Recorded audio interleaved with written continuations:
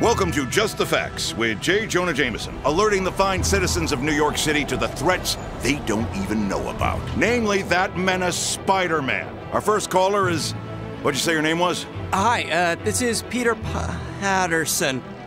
Don't you think you're a little hard on Spider Man? Let me tell you something, Patterson. Spider Man treats New York City as his own personal playground. Just yesterday, I saw him doing backflips and 360s. Disgraceful running and crawling on buildings. In fact, I have it on good authority that he's been doing swan dives off of skyscrapers. It seems the more confident he gets, the more creative he gets. Walk like a normal person. Oh, come on, what's wrong with a little sightseeing? Uh, New York is super diverse and constantly changing. Uh, maybe he's just looking for vantage points to monitor crime? Crime he's causing, you mean? Sources tell me he has backpacks filled with who knows what hidden throughout the city.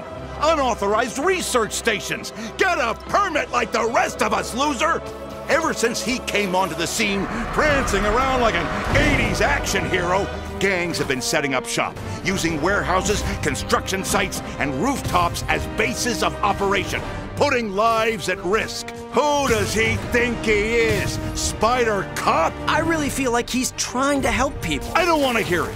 The fine people of New York deserve better. My uncle once said, with great power, there must also come great responsibility.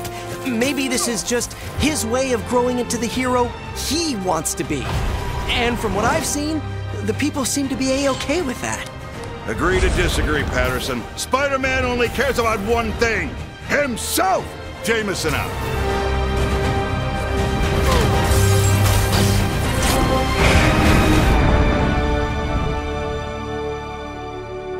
PlayStation